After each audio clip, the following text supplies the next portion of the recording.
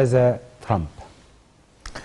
ربما طبعا حضرتك منذ صباح اليوم بنحاول نفسر آه، حالة الذهول التي أصابت العالم من وصول ترامب إلى الرئاسة الأمريكية. لكن خليني يمكن آه، آه، نكون أكثر واقعية ويمكن أنا كنت مع حضرتك في المناظرة الثالثة والأخيرة. صحيح.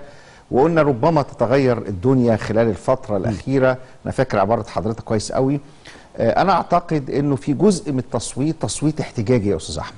يعني في جزء من التصويت كانت هناك كتل تصويتية كبيرة بتعرف باسم ال- الكتل التصويتية العائمة الأصوات المرتبكة اللي غير واضحة المعالم بتدي صوتها بصورة كبيرة. طبعا في التحليل العام للانتخابات الأمريكية لازم تحط معاقل التصويت في بعض الولايات. يعني دي, دي ديمقراطية دي جمهورية. ده أمر ساري منذ سنوات طويلة.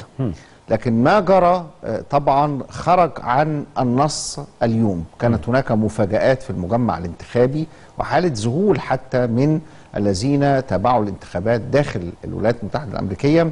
المجمع الانتخابي آه، آه، كان بيتلقى نسب التصويت مباشرة.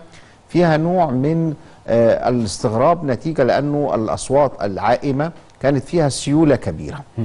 وكان متوقع أنه حتى لو فاز ترامب هيبقى بنسبة قريبة من آه، آه، كلينتون. يعني ما بقاش هذه النسبة الكبيرة في المجمع الانتخابي.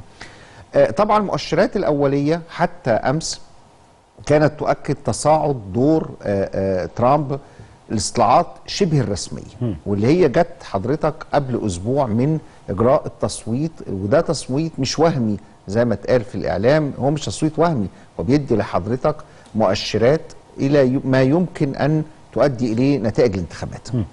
في جزء مما جرى أنا أعتقد إن الولايات المتحدة الأمريكية مقبلة ليست إلى حالة عزلة ولكن إلى حالة قراءة الداخل الأمريكي جيدا. وقراءة الداخل الأمريكي جيدا حضرتك مرتبطة بحاجتين. لأول مرة ستصبح أمريكا بكل ما فيها جمهورية سواء على مستوى الكونجرس على مستوى الشيوخ على م- آه، حكام الولايات. فأنت أمام الجمهوريين. الجمهوريين نحن نعلمهم جيدا كسياسيين وكمشروعات برامج ورؤية مباشرة تجاه الشرق الأوسط ومصر. وبالتالي نرجو ألا نكون متفائلين نكون واقعيين في التعامل مع الرئيس ترامب. بالتأكيد هو أفضل من كلينتون قولا واحدا. وبالتأكيد بالنسبة لنا. بالنسبة لنا وبالنسبة للشرق الأوسط. الشرق الأوسط. وده ليس تحليل عابر مرتبط بإنه حضرتك بتسمع منذ فترة أن هذا الرجل وهذا المرشح ثم النهارده الرئيس ليس لديه برنامج انتخابي متكامل ليست لديه رؤية للسياسة الخارجية. هذا غير صحيح شكلا ومضمونا.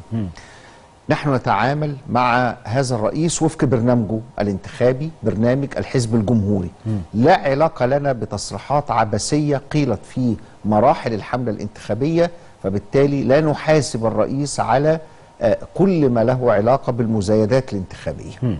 سنحاسب ترامب على برنامجه والناخب الأمريكي الذي أدلى بصوته هيحاسبه على البرنامج. يعني أما يقول أمن إسرائيل اولا لابد أن يترجم ترجمه مباشرة حضرتك بأمرين. تأمين أمن إسرائيل يعني هيزود المساعدات اللي تم توقيعها